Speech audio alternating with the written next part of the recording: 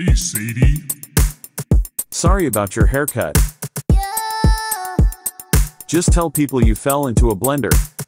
Yeah, yeah. Or say you were attacked with a leaf blower. Hats are always a good option.